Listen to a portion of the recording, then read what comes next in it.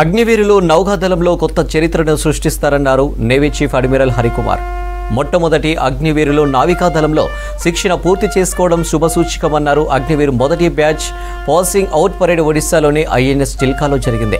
మొత్తం రెండు వందల డెబ్బై మూడు మంది మహిళా అగ్నివీరుతో సహా దాదాపు రెండు వేల ఆరు వందల మంది అగ్నివీరులకు విజయవంతంగా శిక్షణ పూర్తి చేశారు.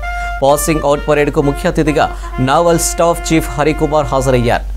శిక్షణ పొందిన అగ్నివీరులు ఫ్రంట్ లైన్ యుద్ధ నౌకలలో మోహరించనున్నారు. మహిళా నావికులు దేశంలోని యువతకు ఆదర్శమన్నారు హరికుమార్.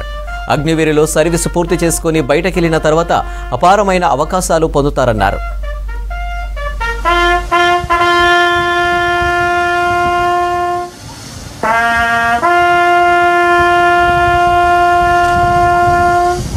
Bye.